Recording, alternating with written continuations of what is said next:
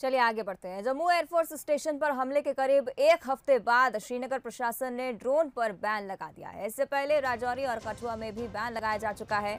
अब श्रीनगर में ड्रोन को खरीद, बिक्री और उसे रखने पर भी रोक रहेगी। जिन लोगों के पास ड्रोन है, उन्हें वो पुलिस स्टेशन में जमा कराने होंगे।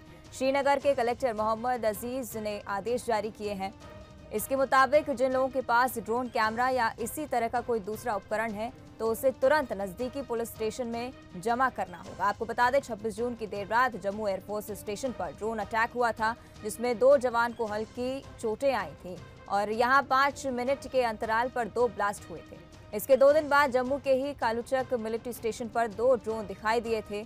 सेना ने उन्हें गिराने के लिए फायरिंग की, पर वो अंधेरे में गायब हो गए थे। इसके बाद से ही मिलिट्री ने पूरे इलाके में बड़े पैमाने पर सर्च ऑपरेशन शुरू किया है।